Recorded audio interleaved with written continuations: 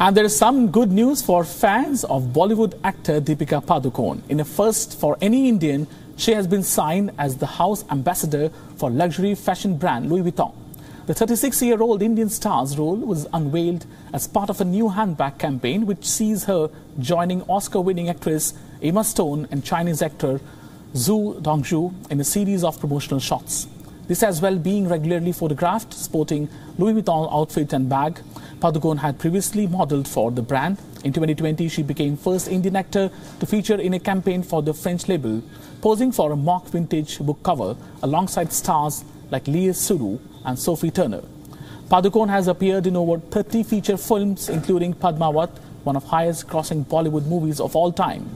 She also made her international debut opposite Vin Diesel in 2017's Triple X, The Return of Xander Cage. Apart from being an actor and producer, Deepika Padukone is also a mental health advocate.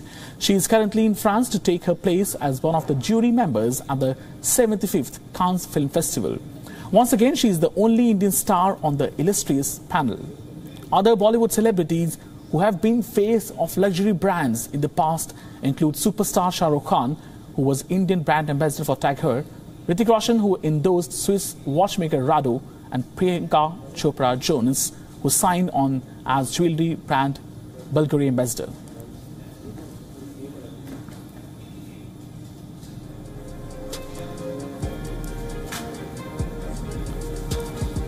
WION now available in your country. Download the app and get all the news on the move.